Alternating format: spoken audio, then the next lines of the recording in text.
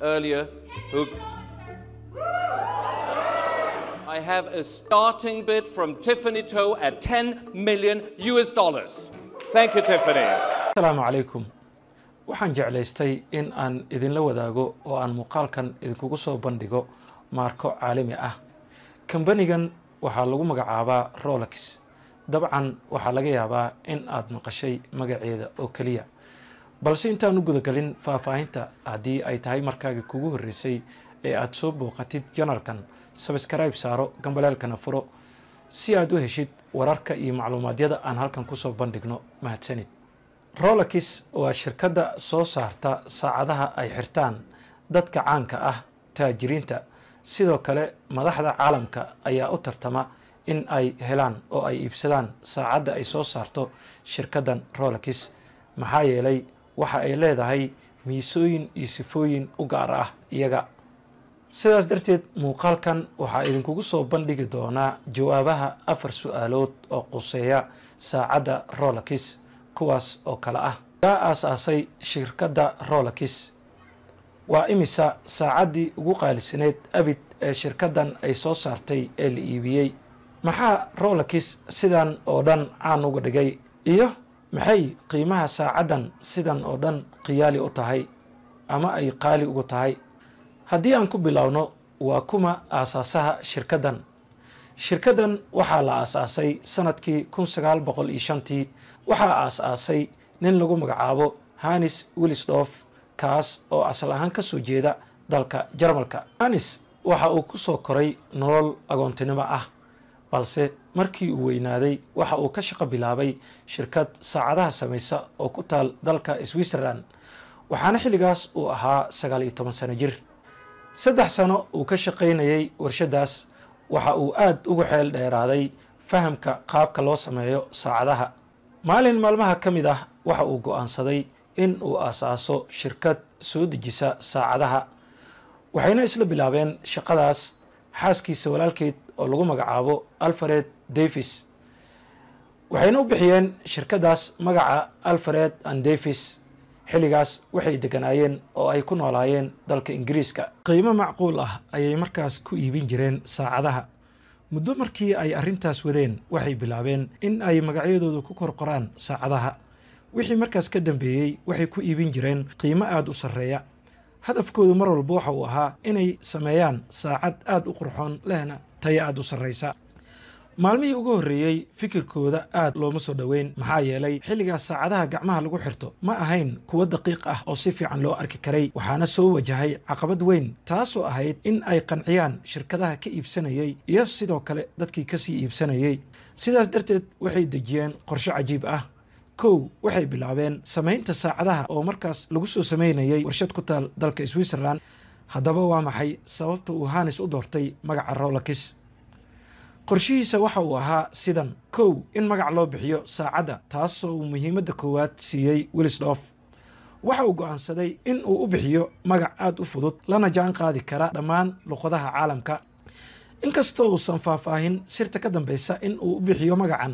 Haddana waxa uu go'aansaday in uu u bixiyo magaca rolex markii uu aasaasay shirkaddan una bixiyey magaca rolex ganacsigiisa waxa uu noqday mid kobcay oo xowli ku socda. Waxaanu go'aansaday inuu safarkiisa ugu horreeyey ku tago switzerland sanadku markuu ahaa kun sagaal boqol sagaal iyo tobankii si halkaasi ay u noqoto meesha lagu sameeyo saacadda rolex taasoo maalin maalmaha ka mid ah noqon doonta midda ugu caansan uguna qaalisan dunida. Dabcan way noqotay maxaa yeelay qof walba oo si sugan u sameeya shaqadiisa waxa uu nasiib u yeelanayaa guul wixii markaas ka dambeeyey saacadda rolex waxay noqotay mid ku soo dhacda dhagaha dadka gaar ahaan waxay noqotay mid ay u tartamaan iibsashadeeda madaxda shakhsiyaadka caanka ah iyo ganacsatada waaweyn.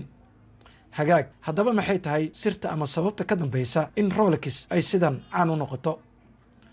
Dhacdada taariikhda gashay ee saacadda rolex sidan caan uga dhigtay waa sawir laga qaaday gabar dhanka dabaasha caan ku ah una dhalatay dalka ingiriiska taasoo lagu magacaabi jiray mercedes galets gabadhan ayaa ahayd xilligaas dabaalyahanad xirfad badan. Waxay ahayd haweeneydii ugu horreysay ee ku dabaalata kanaalka ingiriiska. Bishii oktoobar kow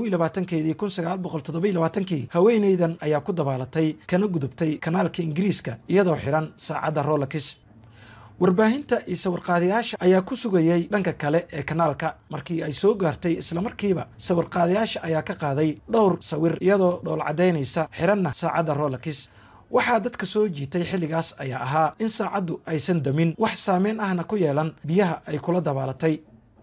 Sheekada mercedes iyo saacadda rolix ee ay ku dabaalatay ayaa waxaa xilligaas oo ku beegneed afar iyo labaatankii nofembar kun sagaal boqol toddobiyo labaatankii lagu soo bandhigay wargeyska caanka ah ee ka soo baxa dalka ingiriiska daily mail.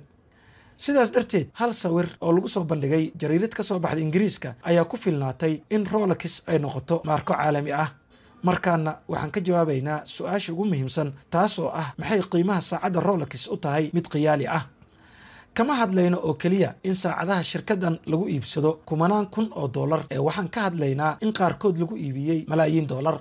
Saacadda rolix suuqgeynteeda waxay ku xiran tahay ama ku tiirsan tahay tayadeeda sidaas darteed rolix samaynteeda waxaa loo adeegsadaa ama laga sameeyaa foolaadka ama macdanka loo yaqaan sagaal boqol iyo afar l kaasoo lagu tirayo in uu yahay midka ugu qaalisan macaadinta laga sameeyo qolofka saacadaha. Sidoo kale samaynta hal xabo oo saacadan ah waxaa ka qayb qaata dhowr qubro ah waxayna ku qaadataa saacado aada u badan in ay sameeyaan sidoo kale markii la sameeyo saacaddan waxaa laga qaadaa tijaabooyin fara badan oo aada u adag. Tusaale ahaan waxaa lagula safraa dhulka barafka ah sida ruushka cirifka siberiya iyo in badda gunteeda lagula quuso. Sababta tijaabooyinkaas adag looga qaadana waa in la xaqiijiyo lana sugo tayadeeda ficil ahaanna tijaabooyinkaas waxaa ku baxa qarash aada u fara badan sababta ka dambaysa in saacadaha rolix qaarkood lagu iibiyo malaayiin ayaa ah inay tahay maarko caalami ah. Sidaas darteed magaca rolix waxaa lala xiriiriyaa oo keliya shakhsiyaadka taajiriinta ah.